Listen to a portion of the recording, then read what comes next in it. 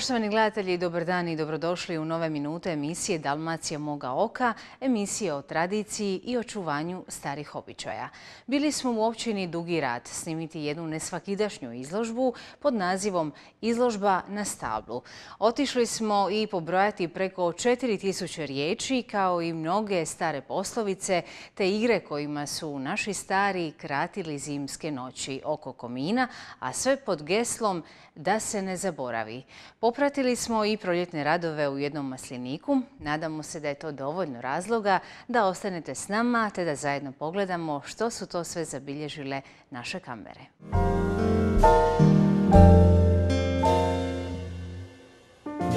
Već šest godina Miljenko Vrkić s Naklica svoje umirovljeničke dane provodi u očuvanju starih običaja. Taj stolar, odnosno inženjer obuće, želi u svojem riječniku riči naše poljičke zabilježiti sve one stare nazive, riječi koje nažalost u ovim modernim vremenima blijede, nestaju kao što i navade naših predaka polako izumiru. No ne da se Vrkić te već sada unio preko 4000 riječi sa svojim pojašnjenjima, tumačenjima, opisima te i akcentima izgovora, budući da su naši stari u svakom kraju imali slična, ali različita tumačenja za istu riječ, isti običaj. Ujedno je Vrkić uz svaku staru izreku, ako se radi o biljci ili za životinje, naveo i latinsku riječ, pa ova sakupljačka strast umirovljenika koji nimalo ne miruje, osim riječi, rezultirala je i očuvanjem brojnih starih igara preko 60, zabilježio ih je Vrkić. Kažete da se ne zaboravi. E, na čemu radite? Što želite da ostane za vaša buduća pokoljenja? U, sve što nije zapisano iz povijesti. A ima toga strahovito puno.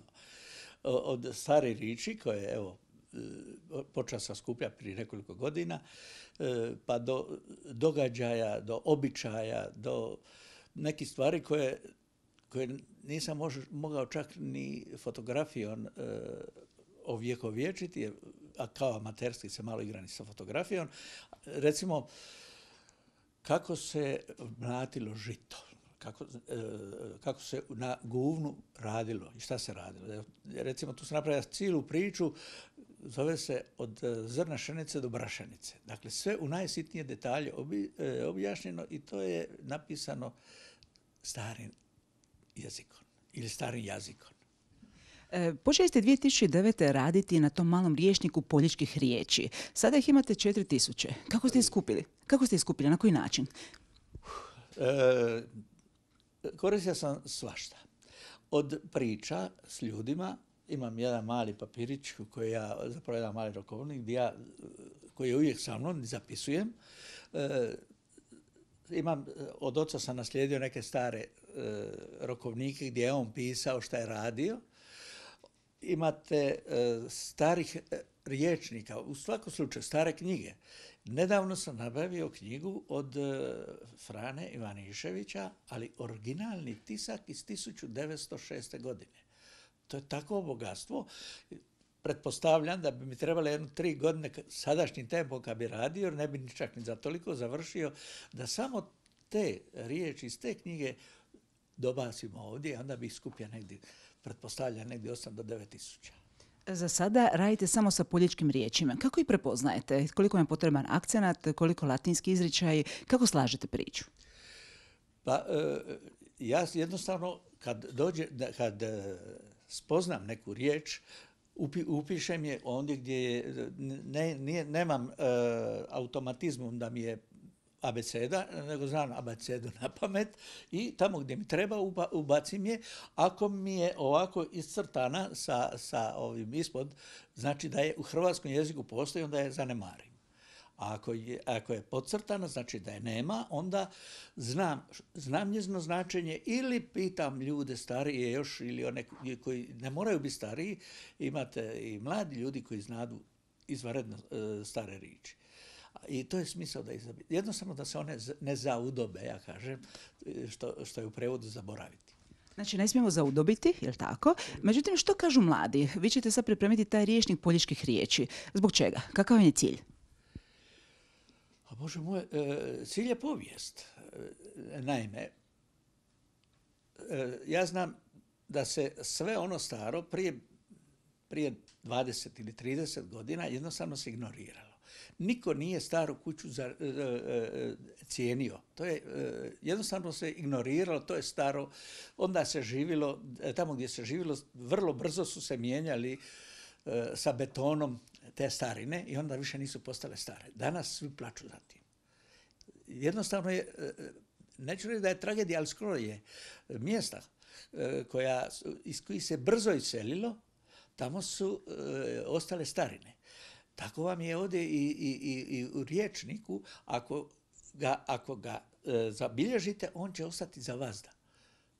Za vazda, za uvijek. A to je ono što je, to je bogatstvo u stvari. E, imate puno riječnika, kad uđete na internet vidite da su mnogi ljudi pisali riječnike. Možda se ja razlikujem po tome što ja dajem strahovito velik, mislim, puno veća objašnjenja nego e, neki drugi dadu jednu riječ pa onda daju objašnjenje u jednoj riječi. Ja dajem rečenice ili još više. U, u, recimo u biljkama i životinjama obavezno stavljam latinska imena. I to uzima vremena za, za pronaći. Ne može, ja jednostavno ne mogu sve, za sve biljke ne mogu pronaći e, sva latinska imena. Mada ima e, fantastičnih stvari gdje imate deset imena, ali nema ono jedno koje ja imam. Ono koje vama treba, međutim znakovito je za sad uoči obljetnice 1164 godine spomena Ivana Tugare. Vi ste prokopali u povijesti, pronašli stare igre. Kako su nekad naši stari radili o, priče oko komina? Uh, opet ste me takli u nešto što je vrlo interesantno. E, ja sam skupio do sada 60 starih igara e, i sve sam je napisao u dijalektu. Trebao bih odati obrazloženje i na hrvatskom jeziku, ali to je ono što se igralo. E, mi imamo ovdje malo selo Naklice, ono imaju svega 250 stanovnika, zapravo sad trenutno ima 230 ili 40. E, I vazda, 30 godina su imali toliko. E, razlika je što je sada puno više obitelji nego je prije bilo. Ali je, e, htio sam kazati da gornje, postoje gornje i donje naklice. Ista igra, isti naziv igre, ali u nijansama se razlikuju donje naklice i gornje. Da, kako onda neće doći do razlike između naklice i nekog susjednog sela ili da ne kažem još sela koje je preko Mosora u gornjim poljicima ili donjim poljicima. To je, e, to je interesantno da svako mjesto ima opet svoje one, one, one sitnice koje se, u čemu se razlikuju te igre. Što vas je o, izvuklo vezano baš za te stare igre? Bile su neke priče oko komina vezano i za tovare i za onako, šta su stari pričali? Ljudi su dosta pohvalili baš vaše to traženje. Šta bi vi istakli? Koja je najdraža od tih starih igara? Pa teško je reći, e, meni, meni je ima strašno puno interesantnih igara. E, recimo igra piljaka, e, igra na franje ili kako su Zagorci zvali, pikule, da. Ona se više ne igra. I to je bila igra koju smo danonoćno igrali. Onda se igralo na, na, na sa, sakrivalo se, nakukalo. Pa imalo je, gdje se sa, sa balunom igralo, gdje su žene igrale onaj, e, kako se zove, na jednoj nozi e, zogarelo. Pa tovar gre koja je igra e, uz komin najčešće ili na penove što se igralo uz komin. Uz komin se u stvari igralo ne samo igre, tamo se događalo sve, u poljicima se vam se sve događalo na kominu. Jer tamo je E, ja ne znam koliko znate, ali vjerujem da znate da u cijeloj Dalmaciji nikad nismo kuće grijali. E, znači, tamo se zimi na Kobinu je bila vatra i tamo se je grijalo. I onda su skupljali na pojedinom mjestu bi bile jedna, jedna, jedan naraštaj ljudi, a na drugom mjestu bio eventualno drugi. Dakle, da se i tu bilo razlike. Ali je bilo komina gdje su bili svi zajedno i onda je tu bilo. Najviše se pričalo igra o strašili u kodlacima, vješticama, pa su se ljudi jedne druge plašili. Imate strahovito puno igara, e, zapravo priča u kodlacima i vješticama. Onda je dugodovštine, pa onda te igre. E, uglavnom, e, tamo se i ljubovalo, tamo se je zagledalo, tamo se je, naprosto cijeli život se događao na kominu. Tako je došlo i do soparnika, da je soparnik došao iz, praktično iz, iz najobičnijih stvari, on je došao na komin, odnosno Evo danas ga imamo i zaštićenoga u, ovaj zemljopisno podrijetlo i još je proglašeno materijalno kulturno dobro još čak prije nego je e, zaštićen. Kako smo primijetili tijekom dana Tugare, najviše te vaše igre su prihvatili mladi. Članovi kulturno-umjetničkih društava to su odradili savršeno, vratili su nas u prošlost. Bilo je buran pljesak na kraju svega toga. Pa e, ja kad sam im savjetovao da e, kako će igrati, ja sam rekao samo shvatite da je to igra i da se treba opustiti u toj igri. E, ako, se, ako ste ono kruti, onda nema ništa iz toga. Jednostavno se treba opustiti, kao i u životu. Što god se više opuštite, opustite, lakše vam je. Što god pozitivnije razmišljate, sve će vam se ljepše događati. Sve u stvari ugodnije ugodnije kad e, se čovjek opusti, a tako i u igrama opuštanje je vrlo bitno. Jer e, ne, ne smijete zamjeriti jedan drugome, e, jednostavno trebate dati oduška duši i onom, onom, onom, onom događaju koji, koji se događa oko vas. Kao predsjednik mjesnog odbora Naklica i kako puno radite na očuvanju i prezentaciji ljepote u vašeg kraja. Imate i sad nove planove i za biciklističke staze i za cijelu priču o vašem kraju. Evo, danas sam predao jedan zahtjev za u grad Omiš za jednu e, mogla bi biti poučna staza. Mislim da je to jedna staza, ona bi trebala biti dugačka oko 1500 metara. E, rijetko gdje na svijetu, možda pretjerujem, ali vjerujte da sigurno nisam, rijetko gdje možete u tako malo vremena ili tako kratkom e, prostoru naći toliko raznolikosti, toliko ljepote. Vi ovdje vidite rijeku Cetinu, ušće rijeke Cetine, vidite more, vidite e, Brač, dakle vidite otok, vidite strahovito puno e, onih penjačkih staza gdje se e, al, alpinisti uče i, i, i vježbaju, gdje onda imate zelene, zelene borove i, i bregove, imate one jad, jakare Jure Kaštelana, jablane u livadama u Zakurcu. Mislim, nevjerojatno puno ne samo prirodnih ljepota, nego i povijesnih znamenitosti. Recimo, sa te staze možete vidjeti e, Svetoga Juru, zaštitnika Poljica, možete vidjeti Milu Gojsalić, e, junakinju Poljica, možete vidjeti hidrocentralu e, Zakučca, koja je vrlo interesantna. Leopolda Mandića, koji je, kojemu je otac iz Zakučca otišao u Crnu Goru, mislim da je 1827. on otišao. Ili ne, on je, rodio mu se e, djeda od ovog e, Leopolda se rodio 1827. Ona imate Jurine Jablane i Jurka Štelana dolje. Na koncu, na našem groblju imate Anđelka Novakovića, imate književnika Jozu Vrkića, imate još e, e, jednoga koji nije književnik, ali je e, Nedo Pavešković je jedna iznimna osoba koja je bila u Ujedinjenim narodima, a kojega je e, Franjo Tuđman ovaj, nagradio sa ne znam kojim pleterom za zasluge pri osnivanju Hrvatske i radi u jednim narodima. Dakle, ima nevjerojatno puno znamenitosti. Ja još ne govorim koliko ovdje iz ove okolice imate e, drugih književnika i umjetnika. Je li uopće cijenimo to naše bogatstvo, tu našu kulturnu baštinu koja je svugdje u svijetu prepoznata? Mi ovdje baš nismo tako da bi se pohvalili ili između sebe uvijek nekako njegovim još uvijek antagonizam? Pa ja mislim da smo se okrenuli previše sebi. E, jednostavno, ljudi su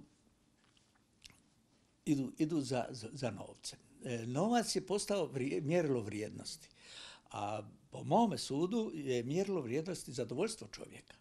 Vi možete imati ne znam što, ali ako u duši niste mirni, ako vi ne možete mirno spavati, ako nemate ljubavi oko sebe, onda vam, onda vam život nema smisla. Bo, e, ja tako gledam. E, pozitivno razmišljanje je opet nešto što je posebno. Kažu, kako ću? Evo, ja sam danas, ne smijem govoriti gdje sam bio, e, ali, jednu, ali totalno negativna osoba. I uvijek je negativna. Ali, kad, ali, ali se može, vjerujte mi da se može naučiti pozitivno razmišljati. Svako od nas može to napraviti. Gospodin Vrkić, što je vas kao inženjera obuće, možemo reći postolara, ponukalo da uopće ovako se bavite starom nasljeđem, starom kulturom, evo poljičke riči, poljičkog riječnika, poljičkih starih igara oko komina? E, ja sam bio, živio u Splitu išao sam sa 21 godinom, kad sam izašao iz vojske i živio sam u Splitu. Ovdje sam dolazio povremeno pomazat, pomagati ocu, jer moj stariji je brat književnik i on je išao u Split, u Zagreb na, na studije. Možete zamisliti da je otac moj, e, ima još, imam četiri sestre koje onda nisu bile udate i on je meni našao posao u Jugoplastici u Splitu i kazao ideš tamo raditi nakon vojske. E, mislim da je, da je to napravio jedan potez jer on je bio svjestan da na selu u ono doba ne može se tako dobro i ugodno živjeti kao u gradu. E, kad sam išao u mirovinu 2000, e, išao sam malo prije, ali sam 2001. ja i žena smo se vratili ovdje živjeti. Moja žena, žena je rođena Solinka, njezina kuća tuče u Jadru, a ona je bila inicijator da dođemo ovdje. Na, na naklice. Naklice su na brdu, pa mi kažemo nakličani na naklice. I ona je, ona je to uživala. I mogu vam reći, sad kad idem uspit, jednostavno želimo se što prije vrati ovdje. Do tada, do te 2001. godine, povijest me uopće nije interesirala. Nikad nisam razmišljao o njome, imao sam druge obaveze, ja sam, ono, sam, bio sam trgovački predstavnik, pa sam imao svoju veleprodaju, pa svoju malu, malu prodaju. Jednostavno čovjek najčešće nema u takvim okolnostima, nemate vremena. Ali onda, sad mi fali vremena, a u mirovini sam. Zamislite to. E, postavili ste pitanje e, o povijesti.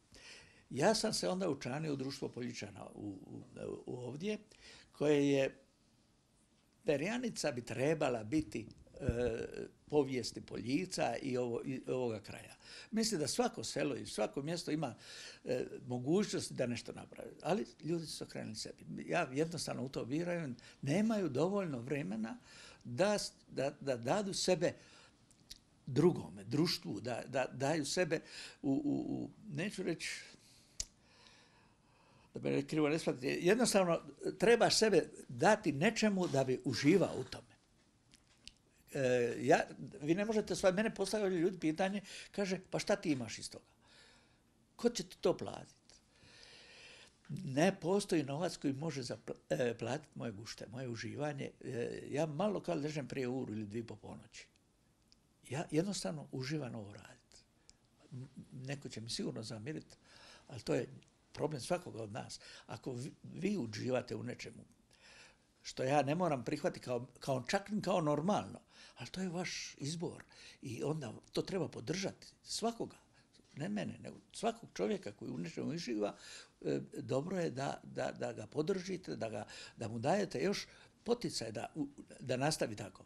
Ako je to normalno u, u granicama e, normale i poštenja. Premda vam nedostaje vremena ako ste u mirovini, kad očekujete tisano, e, pisano izdanje vašeg griješnika i hoćete li uopće napraviti u pisanom izdanju ili će ostati ovako u kompjuteru za neke novije generacije? Uh, opet se me uhvatili na, na, na livu nogu, ajmo tako reći. Savjetuju mi da, da napravim ovo što radi. Da napravite ovo 4000. E, e, imam 60 igrara, ima još 40 spremljenih koje treba napisati. Moj princip je u životu. Kad nešto radiš, napravi kako valja ili nemoj raditi. I onda mi se čini da bi, kad bi sad tiskao bilo šta od svega toga, da bi tiskao samo jedan dio. A ja bi tija cjelovito. E sad je pitanje vage, je li to dobro ili nije dobro? Da li treba to napraviti, pa onda na kasnije napraviti dopunu ili nisam baš siguran. Držim da bi, mi, da bi, bi trebao što prije objaviti e, ovih, ove igre. Mislim da ću da ću to napraviti vjerojatno za dvije godine. Pretpostavljam. A ovo kad stignem, vidit ću šta ću, e, ne znam, ne, naprosto ne znam. Tako je u Brkićevoj arhivi preko 4000 starih riječi, preko 60 igara koje su prakticirali naši preci oko komina, pa i preko 14.000 fotografija, do duše već načetih zubom vremena, no pravi su to bastioni prošlosti. Ujedno se Miljenko Vrkić potrudio pa bilježi i stara prezimena, obiteljska stabla i plemena nakličana, uz još jedan kuriozitet. Popunjava i malu knjižicu o grebima i grobljima. Popis je je tu od daleke 1700. godine pa sve do danas, o mještanima koji su ukopani na mjesnom groblju. Točno 717 nakličana našlo je svoj vječni mir na tom groblju, čijom se ljepotom domaće stanovništvo i tekako diči. No kako sve to ne bi ostalo u prošlosti, Miljenko Vrkić svoje priče iz davnina naslanja i na sadašnjost, pripremajući se za budućnost pa radi na projektu povezivanja Omiša s Naklicama i ostalim mjestima zaleđa, biciklističkim stazama, jer puno lijepoga imaju za pokazati ti vrijedni ljudi, ne samo prirodna bogatstva, već i stara znamenja dalmatinskog čovjeka koji je na škrtoj zemlji uspjevao opstati i živjeti.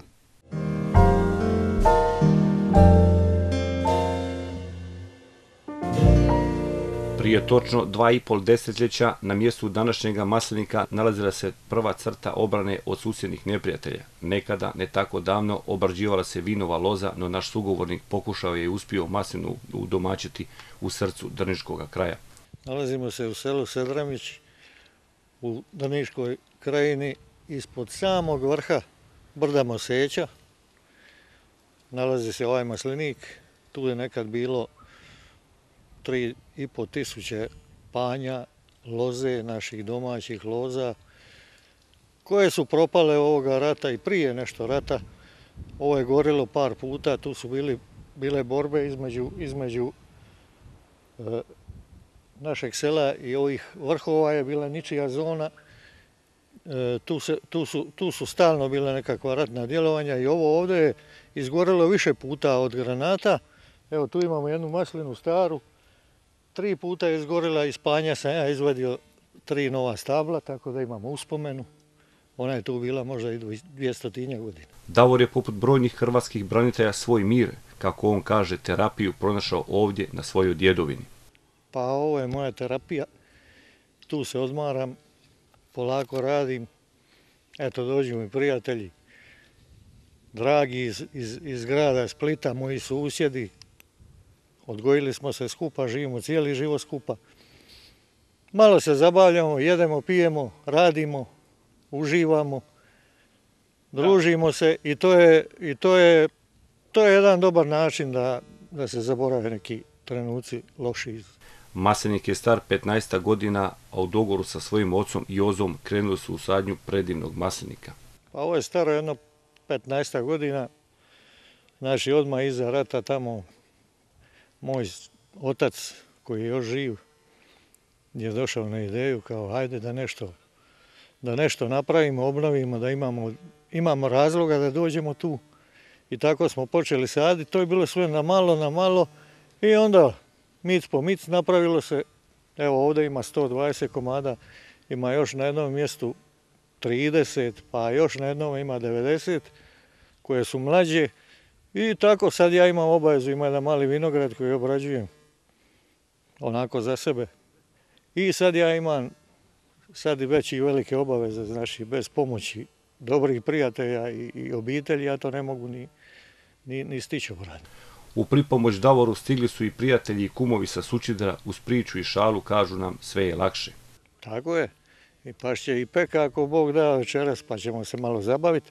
To su moji prijatelji iz djetinstva. Brata nemam, ali imam dobre prijatelje i to je dovoljno. U ovom kraju oblica je nekako već udomaćena sorta, tako je u maseniku Davora Čičmira.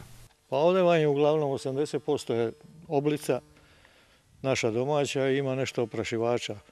Neki italijan, italijanski pedolino ređino i to je to je uglavnom njih desetak posto. Do sredine ljeta prošle godine slutio se odličan urod, no tada je bolest poharala masenik. Prošle godine bilo sve lijepo i dobro do 15.7. a onda, je, onda ga je poharao uh, svrdlaš, izbušio i ostalo je možda 20 posto od, od onoga planiranog uroda. Tako da za kuću će nešto biti, a za drugo nema. Pamti Davor i svjetli u stranu ove priče prije par godina, primjer, bilo je ulja u izobilju. Pa evo na ovom terenu, ovdje je bilo prije možda tri do četiri godine, bilo je e, ubrano maslina, znači napravilo se negdje 200 i nešto litara ulja sa ovog terena ovdje. Sedramić je 70 km udaljen od Davorovog sučida, to je Splita, no to i nije nekakav problem, problem kaže nam Davor Čičmir. dođem kad god, kad god ima nešto za raditi ili kad prilike dopuste, znači vrijeme ove godine je bilo jako loše, ovo se trebalo raditi malo i prije, međutim padala je kiša gotovo 40 dana i nije se moglo ništa raditi. A sad, sad moramo to obaviti i obaviti prskanje bakrenim preparatima da zaštitimo maslinu i da ona može odraditi svoje doći do, do, do onoga najvažnijega, to je cvjetanje i oplodnje. Rezidba je jedan od najbitnijih radova u svakom masliniku, preduvjet za bogati urod. Koji još radovi, koji još radove imate ovdje u masliniku, je li možda ovo možda najzahtjevniji dio rada? Pa ovo je daleko naj, najzahtjevniji, najteži, najodgovorniji dio. Znači ako se dobro poreže, godina će biti dobra, sve ovisi o vremenskim prilikama i Bog šta da. Davor nije od onih koji gnojivom krani biljku svake godine jer kako on kaže za to nema ni potrebe. Pa ja ovdje uglavnom ovaj teren kosim, ja masline ne, ne, ne obrađujem nikako nego samo pokosim. E, ta trava je jedan dio, a ostali dio se gnjoji svako par godina i to je to.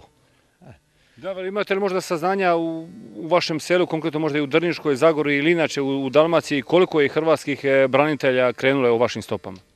Pa ima tu nekoliko ljudi mlađih koji su isto tako zasadili i bave se, bave se isključivo iz hobija, a evo sad je naj, najveći modni hit, sad se počelo masovno saditi smilje koje je vrlo isplativo i ovdje dobro uspijeva i mislim da će, da će u dogledno vrijeme za nekoliko godina biti velike berbe tu.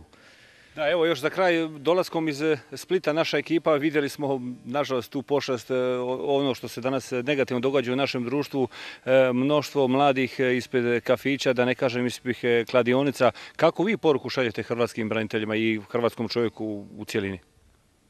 Pa eto, ja bi, ja bi im preporučio da nađu zabavu. Nije to toliko teško, radiš koliko možeš, zabavljaš se, misli odlutaju, ne, ne, ne misliš o nekakvim ludostima, štediš novac i zdravlje. Ostavili smo Davora u rezibi maslina, ne sumnjamo da će uz Božju pomoć te prijatelja sa njegovoga sučidra napraviti sve da bi ponovio urod od prije par godina kada je ulje teklo u potocima.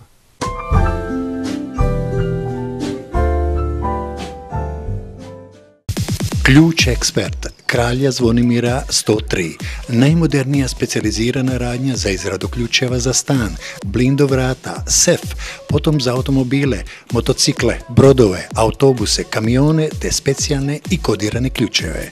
Ključ ekspert. Izrada ključa prema bravi, adaptacija brava prema ključu, prodaja brava, kvaka, lokota, sustava master, više brava na isti ključ. Ključ ekspert. Kralja Zvonimira 103. Razvojni tim renomiranog proizvođača medicinske obuće tvrtke Dr. Luigi u suradnji s Institutom interdisciplinarnih tehnologija predstavlja moderne metode diagnostike stopala. Diagnostiku obavljamo na 3D skeneru koji digitalizira vaša stopala u računalni 3D model. Zatim mjerimo duljinu i širinu otiska stopala te uspoređujemo i saznajemo razlike između lijevog i desnog stopala koja postoji kod svake osobe. Mjerimo visinu i utvrđujemo geometriju svodova tabana. Obavljamo mjerenja karakterističnih opsega stopala, očitavamo razlike tih opsega pomoću kojih svaki obućar u svijetu može izraditi obuću po mjeri. Razlika visina nogu od samo jednog milimetra može dovesti do ozbiljnih posljedica za kralježnicu kukove i koljena. Među prvima u svijetu mjerimo tu razliku koja postoji kod većine ljudi, a da oni ni sami toga nisu svjesni. Na temelju nalaza diagnostike ortoped daje konačne upute za liječenje ili preventivu prema kojima izrađujemo medicinski džon s ortopedskim parametrima. Posjetite naše dijagnostičke centre u Splitu na adresi Poljička cesta 9 te u Zagrebu u ulici Pavla Haca 12. Provjereno najbolji izbor Nova Renta Car. Provjerite naše super pogodnosti i uštedite. Rezervacije i informacije na broj 203 380 ili na 098 983 6950. Posjetite nas na www.rentacarsplit.net. Nova Renta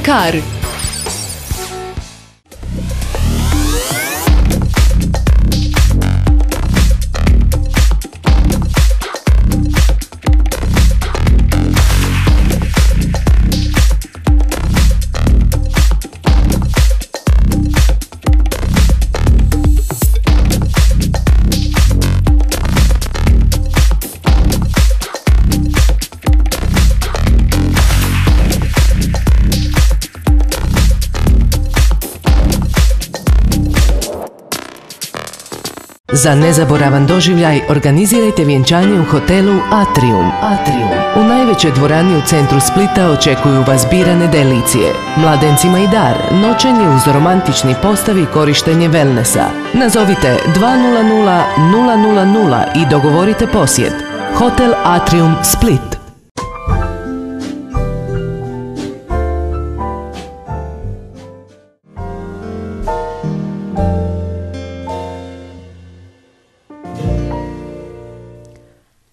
Dugoradski slikar i kipar Joško Čizmić priredio je jedinstvenu izložbu i to izložbu na stablu. U Masliniku obiteljsko poljoprivrednog gospodarstva Slavomira Kadića u skladu s običajima bojanja i oslikavanja jaja, Čizmić je postavio jaja velikih dimenzija oslikanih motivima koje inače prakticira na svojim slikama. A jaja simbole nade i uskrsnuća vješa na stablo masline, biblijske biljke i znak mira, što ga čovjek od davnina uspostavlja s Bogom. Dugi rat je za svoj praznik dobio jedinstvenu izložbu. Izložbu na stablu. Što ste to napravili? Napravio sam 20 pisanica ili, ajde malo kulturno reći pisanica nego jaja, ovaj, e, e, sa, koje sam oslikao sa svim motivima, morskim motivima, inače iz, iz svog slikarskog opusa koji radim posljednjih godina, i kao što vidite tu iza mene, svi su, to, svi su to otprilike te veličine i tog tona, to, izričaja. To je posalo jedno 4-5 mjeseci intenzivnog rada koji sam tempirao za dan, za dan općine Svetoga Josipa, moj 60. rođendan, svitnicu i pred veliki, početak velikog tjedna. Simbolika cijelog događaja je trebala biti da ta jaja budu na masnama, jer je na cvjetnicu Isus dočekan sa maslinovim grančicama kad dolaze u Jeruzalem, a nakon toga je nastupila njegova muka, rađanje novog života sa uskrsom i to je ta cijela simbolika. Maslina jaje, rađanje novog života, tradicija iz našeg naroda oslikavanja pisanica ili jaja i to, je, osnovna ideja i, osnovna želja bila. Bila mi je želja da za svoj rođendan i za imendan i za sve to što sam nabroja okupim sebi drage prijatelje, ljude koji cijene moju, moju umjetnost ili ono s čime se ja bavim, jer to sa umjetnost hoće neko drugi reći, i tako da e, je to bila i na kraju proslava imao dana druženje, jedna velika žurka u prirodi. Gospodin Čizmić, kako su ljudi reagirali na pisanice na maslinovim granama ovdje, baš u prirodi na jednom OPG-u vašeg rođaka gospodina Kadića? E, sama izložba je bila iznenađenje iznenađenje zbog toga što e, se kroz sve moje najave po portalima i medijima, osim zadnjeg dana kao objavljeno što se događa, e, ovo predstavljeno kao izložba fotografija, slika. I svi su očekivali slike. Za puno njih koji nije, e, koji nije pratilo portale to jutro kada je objavljeno da se radi o jajima, je bilo iznenađenje, pozitivno iznenađenje. Svi su očekivali slike, sad se očekivala bura i onda sam neke molija daj dođite, treba će držati slike ako bude puvalo. Eto, hvala Bogu, bilo je lijepo vrijeme i svi su se ugodno iznenadili s onim što sam napravio. Koliko je vama kao umjetniku bilo zahtjevno, odnosno teško, sa jedne ravne plohe slike prebaci se na okruglo jaje? A slušajte, ovi, e, ništa, nije, ništa e, nije teško kad čovjek zna šta hoće postići. Ja sam jaje i oblikao od početka, ja sam jaje sam i napravio. E, to je kaširani papir koji je, koji je oblijepljen platnom. Tako da e, ja sam imao viziju 4-5 mjeseci prije početka rada šta ću napraviti. Tako da mi ništa nije bilo teško. Ja sam znao da će mi se prolit boja i da, da ga četiri puta moram okrenuti više puta u četiri poze da bi ga oslika. Jer ovo, ovo bojano u četiri, pet slojeva. Tako da sam znaš šta me čeka, ali ja sam imao sebi zadatak koji sam morao napraviti. I to se ja napravio. Napravili ste 20 uskrsnih jaja, ali motivi nisu sakralni. Nisu motivi sakralni. To je moj opus, e, probrani rado iz mog opusa zadnjih 4-5 godina. Znači, uglavnom sa zaokupljen moren, brodovima, ribama i poneki cvijet se nađe i valovi, valovi galebovi. To je ono u čemu ja zadnje vrijeme uživam, to radim i to sam odlučio e, prenijeti na jaja. Kažete, to je vaš opus. More, e, sunce, morske životinje, flora, fauna. Je li to sve obilježje jednog dalmatinca, pogotovo što je vaša sa izložba u Maseniku? Pa to je e, zapravo, e, dobro ste rekli, ja pored, pored, e, ovoga što vidite slikarski opus, ja ima kiparski opus svoj i to su uglavnom ribe. Znači ja u, kip, u kiparskom dijelu svoje aktivnosti radim uglavnom ribe i to ribe od starog poljoprivrednog alata, e, od ostiju prirodnog kamena, tako da će moje sljedeće, eto sad ga mogu i najaviti, sljedeće predstavljanje biti predstavljanje skulptura, ali je zadnje vrijeme sve vezano uz more. Zašto u more? More me najviše smiruje. Kako više ne, gledam puno televiziju, ne čitam više nikakve tiskovine, čovjek pred penziju, čemu će se posvetiti? Moru i ako može još se smiriti u zudicu i gotovo, nema šta. Kažete da birate neobične materijale, one stare materijale. Od čega su napravljene sad te vaše buduće ribice? Moje buduće ribe i one koje su već napravljene, su napravljene su od mašlina, motika, sikira, ostiju ribarski, vila, e, svega onoga što je naš težak čovjek motika, sve ono što je naš težak e, koristio. Tako da u toj jednoj ribi koja e, u sebi sadrži 20-30 komada alata koji je već i oštećen i istrošen, u njemu je prenesena energija tih ljudi koji su taj alat koristili. To nije sad puka e, skulptura, nije kupljeno u željezariji 4-5 mašina i zavareno. Svaki taj mašin je otupija, puno se ja mora i dricati nadovariti, puno i tako da je svaka ta riba e, e, ja u njoj osjećam energiju. Neko će možda i drugo osjetiti energiju iz te ribe. To je energija truda i muke ove dalmatinske i to je uglavnom ono čega će sastaviti moje buduće skulpture. Gospodin Čizmić, kažete trud čovjeka dalmatinskoga. Koliko vam je bilo teško uopće naći te i pronaći tradicionalne poljoprivredne alatke da bi ih sutra mogli oblikovati u jedno vaše umjetničko dijelo? Pa, teško je, vrlo je teško bilo, međutim ja sam imao sreću da je e, dida moje žene Slavko Markovina Kovač iz Tugara. I tako da, mi je to, kad sam bio u njegove kovači, to dalo ideju. Odbačeni magareće kopite.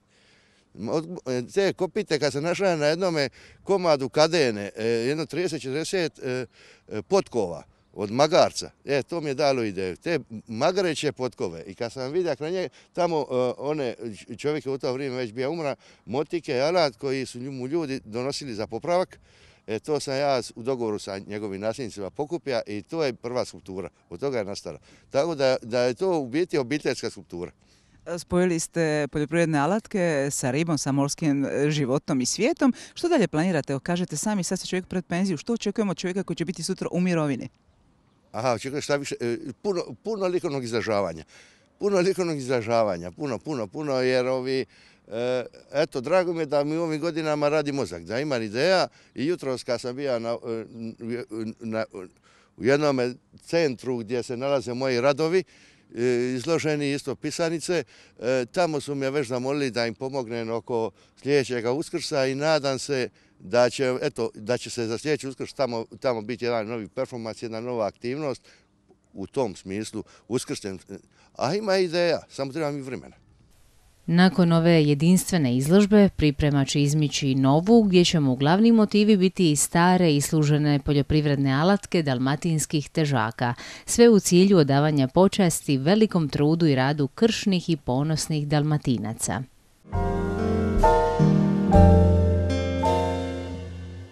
Sinsko starinsko pjevanje zvano rera čuva se na području Cetinske krajine, s koljena na koljeno. Slično je ojkavici i gangi, koje se također čuvaju i pjevaju u cijeloj Zagori. No rera naravno ima svoje posebnosti, ističe sinski glazbenik Mojmir Čačija, koji je u svom stvaranju glazbe ugradio i sinsku reru. Za takvo pjevanje karakterističan je uzvik oj, što je prepoznao i UNESCO kao nematerijalnu kulturnu baštinu koju treba sačuvati od nestanka. Riječ dobro zvuči, ali pjevanje rere još bolje i snažnije ima veću težinu. E, to je način pjevanja koji su evo u posljednje vrijeme prepoznali i glazbeni stručnjaci iz Europe. Dakle, rera i takav način pjevanja je odnedavno pod zaštitom UNESCO-a. Sinska rera nije samo riječ za staro pjevanje, već je po njemu nazvana stara ferata uskotračna željeznica, koja je od 12. rujna 1903. godine do 60. godina prošlog stoljeća prometovala između gradova Sinja i Splita i time bila u gospodarskom i socijalnom smislu poveznica između Cetinske krajine i Splita. Naziv Rera dobila je zbog pjevanja i zbog putnika, koji su se njome vozili i pjevali Reru pučku pjesmu. U početku su je zbog izgleda i sporosti zvali Šuljarica, potom Sinska željeznica, Sinski vlak, Sinska ferata. Ona je bila simbol Cetinske krajine. Novi život se nastavlja i bez ferate, ali Rera je ostala u srcima Cetinske krajine, pa je imamo u dijelu klapske pisme. Izvodi je klapa Sinj koja odaje počast i ferati i Reri, istoimenom starinskom pjevanju.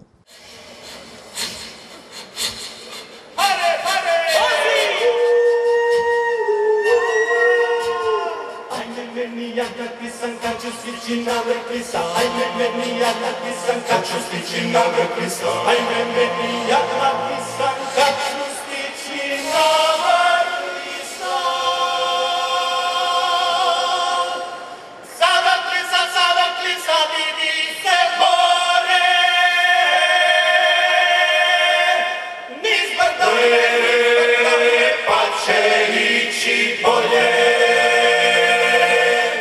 Zadnji putnički vlak, broj 3834 na pruzi Split-Sinj, krenuo je iz Sinja 30. rujna 1962. godine. Teretni promet održavao se još neko vrijeme.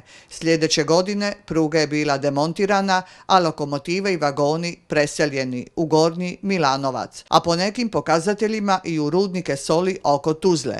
Ali priča o njoj ostala je i postala dio povijesti, a mudri Sinjani su je odlučili sačuvati zauvijek, dajući ime dvama simbolima Cetinske krajine, pjevanju i željeznici. U našim ovim mikroklimama se razlikuju načini kako se odgovara u toj reri. U nas se rera, u Imotskom kraju se ganga i postoji također ojkavice, treskavice. Dakle, postoje više načina tog pjevanja, ali srž je jednaka, ista. To je karakteristično dvoglasno grleno pjevanje. Izvodi se punim glasom. Jedan pjevač vodi pjesmu, dok ga drugi prate ili reraju. Živopisno je to pjevanje koje nerijetko opisuje svakodnevne pojave, trzavice između susjednih sela, karaktera i običaja i smijava ljudske mane i slabosti, često i posebno izabranim riječnikom. Najčešće dvostih stane tako neobična minijatura jasne poruke, bila ona upućena dragome, dragoj, svekrvi, gospi Sinskoj ili svecima. Rera je začinjavala i uveseljavala svaki dernek, druženje ili silo ili ašikovanje. Pa se tako zna pjevati, gospe Sinska, misu ću ti platit, ako ćeš mi Dragana povratit. Ili u mog lole livade na glasu, trije ovce za uru po pasu.